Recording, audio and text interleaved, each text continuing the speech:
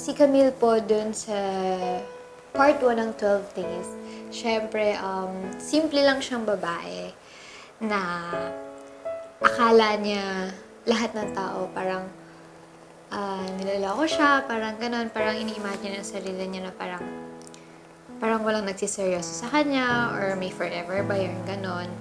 Tapos, masipag din siya, nagtatrabaho din siya, and jolly din si Camille. Oh! Kotse mo. Kotse. Okay. Kotse, kotse, okay. Kotse. Yeah, battery. Battery. Na-drain. Na-drain siya eh. Oo. And siguro dito sa magiging part 2, uh, ibang Camille yung makikita nila. Which makikita pa rin nila yung side ng Camille na unang napanood nila. Pero dito, mas magiging matured si Camille. Mas magiging parang powerful woman. Congrats, Kath, for patching things up with him. Um, syempre po nung una, mas nauna yung excite dahil syempre makaka-work ko yung mga naka-work ko before and at the same time, um, kinabahan din dahil sa pagkakasabi po sa amin na may part 2, syempre sinabi po yung story, so medyo parang na-challenge ako dun sa magiging next character ni Camille.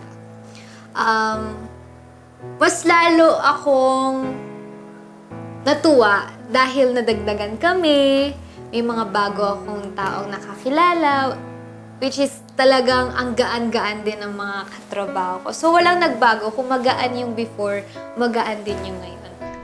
Pupunta ka ng Cebu for six months. And sa Blade Entertainment, super humble, super babae. Talagang yung inaalagaan nila yung mga staff nila, yung mga artists nila. And same din sa mga staff pala, nakalimutan kong magitin. Talagang um, minsan ako din yung nahihiya. Pag ako yung di ako sanay ng medyo uh, kinik na nakikirsahan pero sobrang nakaka-touch dahil super, super care nila sa lahat. Artist, staff, director, AD, so parang pantay-pantay. Simple lang. Walang stress. Stressful na nga sa work, pati ba naman sa love life stressful? Sobrang gaan ka-work ni Direk CJ. Kumbaga parang sa rom-com, um, na-try ko dito kung natutong magpatawa, which is mas mahirap kaysa sa umiyak. And nakakatuwa dahil nagigets ko agad yung gusto niyang mangyari sa isang scene.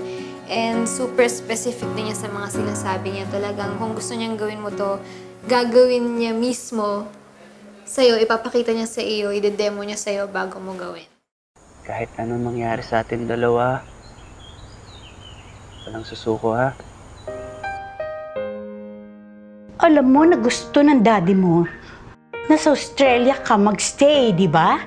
Kailangan ko pa pong pag-isipan eh. I know, Danielle. Daniel, Catherine, pupunta ka ng Cebu for six months. sayang naman yung opportunity. Tsaka hindi lahat nabibigyan ng ganito. Go ahead, Danielle. Accept the offer. Congratulations to Daniel Del Rosario. Ganyan talaga pag long distance relationship. Kaya ang daming naghihiwalay. Anong gagawin ko sa ex-deal na gluta? Bayaran dyan ko ninyo sa kong TF o di mo ganan ipatoy puta mo!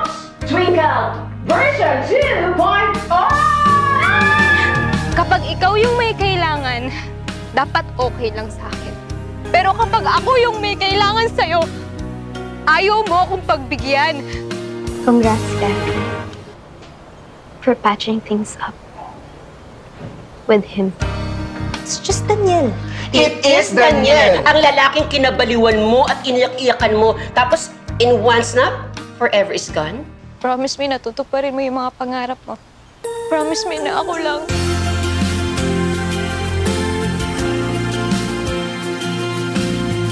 Bakit ba ang kulit-kulit mo? Alam mo kung wala kang matinong sasabihin, huwag mo na lang akong kausapin, okay? Also, nasan yung straw? Oh, Stro, huwag ka na magreklamo ha. Natikman mo na rin naman yan eh. Mm, well, any friend of Camille is a friend of mine.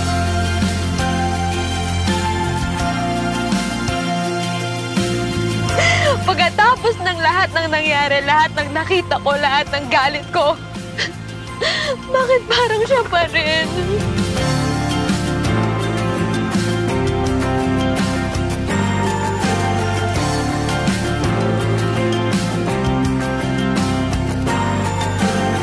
Balot! Sir, sir! It's you! Yeah, balot-balot din itong mga time, dating gawin. Ito ang balot ng pag-ibig.